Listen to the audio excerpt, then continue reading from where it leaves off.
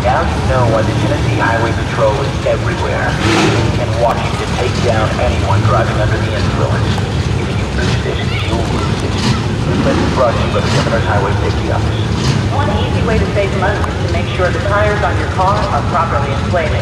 Another is the Way to Save program from Wachovia. Use your check card to make purchases, and $1 is transferred